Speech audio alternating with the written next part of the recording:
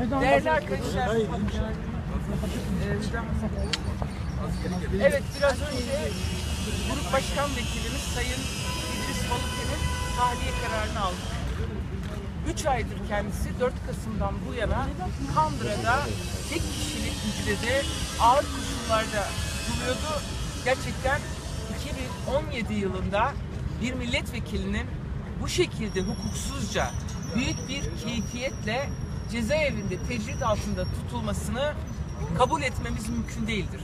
Bugün hakkında tahliye kararı verilmiş olması ne o tecriti ne o hukuksuzluğu ne de bu keyfi uygulamaları ortadan kaldırmamıştır. Ama sevindirici olan yanı tabii ki şu anda özgürlüğüne kavuşmuş olmasıdır. Sadece grup başkan vekilimiz değil, şu anda Sayın Figen Yüksekdağ, Selahattin Demirtaş ve 8 milletvekili arkadaşımız Selma Irmak, Nursel Aydoğan, Gülser Yıldırım, Ferhat Emcü, Abdullah Zeydan ve Nihat Akdoğan da cezaevinde ve aynı şekilde tecrit koşullarında tutulmaya devam ediyor. Yine 4 Kasım'dan sonra yapılan operasyonda Grup Başkan Vekilimiz Çağlar Demirel, Demirel ve Kadın Meclisi Sözcümüz Besime Konca da gözaltına alındıktan sonra tutuklanarak Kandıra cezaevine gönderilmişti. Yani Türkiye'nin utancı bitmemiştir. Utancı bitirmek için gerçekten şu anda bir şans var. İçerideki tüm tutulan milletvekillerimizin, belediye eş başkanlarının, siyasetçilerin, kadın meclis üyelerinin, gençlik meclis üyelerinin serbest bırakılması gerekiyor.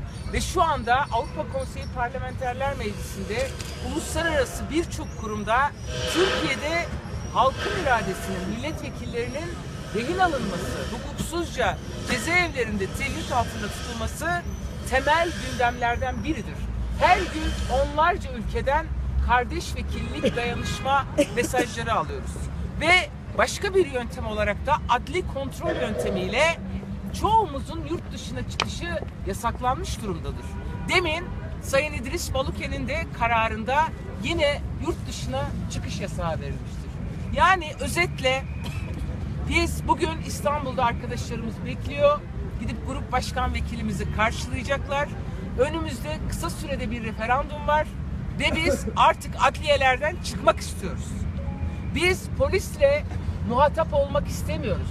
Biz yargı önünde siyaset yapmak istemiyoruz. Biz asıl yapmamız gereken halkla birlikte parlamento kürsüsünde ulusal uluslararası platformlarda Halkların Demokratik Partisi olarak çalışmalarımızı yürütmek istiyoruz. Çünkü ne Türkiye'nin ne Türkiye yurttaşlarının demokratik siyaset ve demokrasi dışında hiçbir seçeneği yoktur. Diğer seçenekler acıdır, ölümdür, kandır, gözyaşıdır ve özgürlüğünden yoksun bırakmadır. Biz bu ülkede artık gerçekten huzurun gelmesinin temel yolunun bu toplumsal kutuplaşmanın durdurulmasından geçtiğine inanıyoruz. Ve bugün derhal Diyarbakır Adliyesi'nin önünden Ankara'ya sesleniyorum. Milletvekili arkadaşlarımızı ve eş genel başkanlarımızı derhal serbest bırakın. Eğer siyasetçiyseniz, eğer gerçekten referanduma gitmek istiyorsanız adil ve eşit koşullarda Yüksekdağ ve Demirtaş ve bütün HDP milletvekilleri sizin gibi alanlarda olmalıdır. Halkla buluşmalıdır, televizyonlarda olmalıdır. O zaman hayır mı, evet mi kazanacak hep birlikte göreceğiz diyorum. Teşekkür ediyorum.